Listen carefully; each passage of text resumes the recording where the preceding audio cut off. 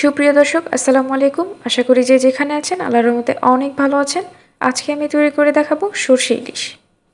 সাথে আরও থাকছে আপনাদের জন্য ট্রিপস অ্যান্ড ট্রিক, যেগুলো ফলো করে আপনারা খুব সহজে সর্ষে ইলিশের আসল স্বাদ নিতে পারেন।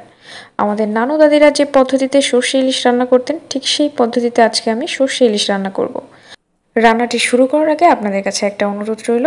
অবশ্যই একবার হলেও আমার এই প্রসেস ফলো করে আপনারা সর্ষে ইলিশ বানিয়ে খাবেন। আর আপনি যদি আমার চ্যানেলে নতুন হয়ে থাকেন, তাহলে অবশ্যই আমার চ্যানেলটি সাবস্ক্রাইব করতে ভুলবেন না।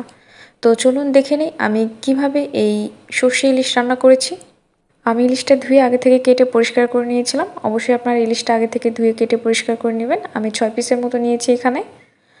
আপনারা চাইলে বাড়িয়ে নিতে পারেন, কোনো সমস্যা নেই। আর আমি এখানে নিয়েছি সর্ষে। আমি দুই টেবিল চামচ সর্ষে নিয়েছি। হলুদ সর্ষেও বলা যায় এটাকে। আর নিয়েছি কাঁচামরিচ এবং স্বাদ মতো লবণ।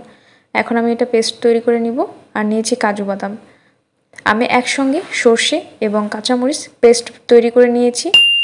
এতে করে সরিষাটা তিতা হয় না। আপনারা অবশ্যই কাঁচামরিচ এবং লবণ দিয়ে পেস্ট তৈরি করে নেবেন। আমি এখন এক কাপ পানির ভিতরে পেস্টটা গুলে নিয়েছি। তারপর এটা আমি ছেঁকে নিব একটা ছাঁকনির সাহায্যে। আপনারা অবশ্যই এটা ছাঁকনির সাহায্যে ছেঁকে নেবেন। এতে করে দেখতেও যেমন সুন্দর হয়, খেতেও তেমন টেস্টি হয়। এই কালো অংশটার কোনো প্রয়োজন নেই, আপনারা এটা বাদ দিয়ে দিবেন। আমি দিয়ে দিচ্ছি চার টেবিল চামচ সয়াবিন তেল। আমি সর্ষে বাটা দিয়েছি, যার কারণে সরিষার তেল আমি ব্যবহার করব না। তো এখন আমি দিচ্ছি তিনটা মিডিয়াম সাইজের দেশি পেঁয়াজ। দিয়ে দিচ্ছি স্বাদ মতো লবণ। আমি সর্ষে বাটার মধ্যে লবণ দিয়েছিলাম যার কারণে একটু কম দিয়ে দিচ্ছি। লবণ দিয়ে পেঁয়াজটা ভাজার জন্য পেঁয়াজটা দ্রুত সিদ্ধ হয়ে যাচ্ছে। এখন আমি দিয়ে দিচ্ছি এক চামচ আদা বাটা, হাফ চা চামচের থেকেও কম, সামান্য পরিমাণ রসুন বাটা, এক চা চামচ জিরা বাটা। এখন আমি এটা ভালোভাবে দুই মিনিট ভাজবো যাতে বাটা মশলার কাঁচা গন্ধটা চলে যায়। আপনারা অবশ্যই বাটা মশলার পরিমাণ একটু কম করে দিবেন, যেহেতু আমরা সরিষা ইলিশ রান্না করতেছি, ইলিশের একটা স্মেল থাকা অবশ্যই দরকার। এখন আমি দিয়ে দিচ্ছি হাফ চা চামচ হলুদ গুঁড়ো হাফ চা চামচ শুকনো মরিচের গুঁড়ো। দিয়ে দিচ্ছি এক চিমটি পরিমাণ মাছের মশলা। সামান্য পরিমাণ গরম মশলা। সামান্য পরিমাণ গোলমরিচের গুঁড়ো। এখন আমি পানি দিয়ে মশলাটাকে কষাবো দুই মিনিট। আপনারা মশলাটাকে ভালোভাবে কষিয়ে নেবেন।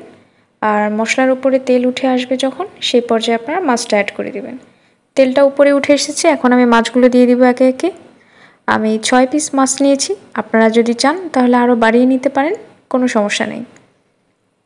এখন আমি মাছগুলোকে ভালোভাবে উল্টে দিব।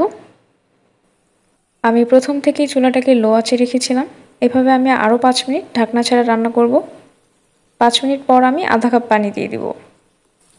পাঁচ মিনিট হয়ে গিয়েছে, আমি আধা কাপ পানি দিয়ে মাছটাকে ভালোভাবে সিদ্ধ করে নিব। আপনারা অবশ্যই মাছটাকে একটু ভালোভাবে নেড়ে চেড়ে দিবেন। আর লক্ষ্য রাখতে হবে, মাছটা যেন নিচে লেগে না ধরে। মাছটা একটু ভালোভাবে সাবধানে নাড়বেন, যেন মাছটা ভেঙে না যায়। তো আমি আবারও মাছটাকে উল্টে দিচ্ছি। আপনারা একটার পর একটা ভালোভাবে উল্টে দিবেন, যাতে মাছটা ভালোভাবে সিদ্ধ হয় এবং লবণ মরিচ মাছের ভিতরে ঢুকে। তো এখন আমি দিয়ে দিব কাঁচামরিচ। আমি পাঁচটা কাঁচামরিচ দিয়ে দিচ্ছি। আপনারা যে যেমন ঝাল খান, সেভাবে ঝাল বুঝে দিবেন। তিন মিনিট ধরে জাল করার পরে আমার মাছটা কষানো হয়ে গিয়েছে। এ পর্যায়ে এসে আমি সরিষের যে লিকুইডটা করে রেখেছিলাম, সেটা উপরে দিয়ে দিব। আপনারা অবশ্যই ছাঁকনির সাহায্যে ছেঁকে নেবেন এভাবে। আমি চুলাটাকে একদম লো আঁচে রেখে দিয়েছি। আমি প্রথম থেকে এ পর্যন্ত লো আঁচে রান্না করব। আপনারা সাবধানে নেড়ে দিবেন যাতে মাছগুলো ভেঙে না যায়। দেখুন কত সুন্দর একটা কালার এসেছে। আপনারা অবশ্যই আমার এই স্টেপগুলি ফলো করে সর্ষে ইলিশ রান্না করবেন। আমি কাজু বাদামটা পেস্ট তৈরি করে নিয়েছি, সেটা আমি রান্নার শেষের দিকে দিয়ে দিব, এখন দিব না। কাজু বাদাম দিয়ে দিলে নিচে লেগে ধরবে, মাছটা ভালোভাবে কষানো হবে না। তো আমি এভাবে এখন আরও পাঁচ মিনিট রান্না করব, এখন ঢেকে দিব। পাঁচ মিনিট ঢেকে দিয়েছিলাম, দেখুন। এরকম রান্না হওয়ার ঠিক পাঁচ মিনিট আগে আপনারা কাজু বাদামটা অ্যাড করে দিবেন। দেখুন, আমার মাছটা প্রায় কষানো হয়ে গিয়েছে। এখন আমি দিয়ে দিচ্ছি কাজু বাদাম। কাজু বাদাম দেওয়ার একটাই রিজন এখানে। সরিষা ইলিশ দেওয়াতে একটু তিতা লাগে মানে একটু তিতা থেকে যায়। কাজু বাদাম দেওয়াতে এর স্বাদটা আরও বেশি বেড়ে যায়, আর তিতা তো লাগেই না, খেতেও আরও টেস্টি হয়ে যায়। তো আমি ঢাকনা খুলে আরও দুই মিনিট রান্না করেছি, দেখুন, এটা কেমন মাখো মাখো হয়ে গিয়েছে। ঠিক এরকম হয়েছে। তো আমি এখন আরও আধা কাপ পানি দিয়ে দিচ্ছি। অবশ্যই গরম পানি দিবেন আপনারা, ঠান্ডা পানি ব্যবহার করা যাবে না। আর কাজু বাদামটা দেওয়ার পরে আপনারা একটু দেখবেন ভালোভাবে যেন মাছটা নিচে লেগে না ধরে। তো এখন আমি আর দুই মিনিট রান্না করব।